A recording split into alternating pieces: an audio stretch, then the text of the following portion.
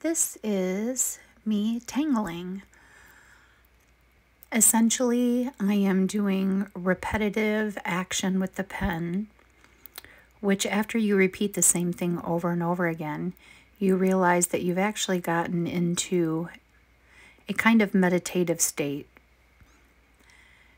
Meaning that what happens when I do this is my mind becomes decluttered and I tend to just focus on doing this repetition, which causes me to relax and declutter my mind. And I absolutely love it. You can take lines, dots, circles, and turn them into something that looks 3D. It's helped me to relax, unwind from the day.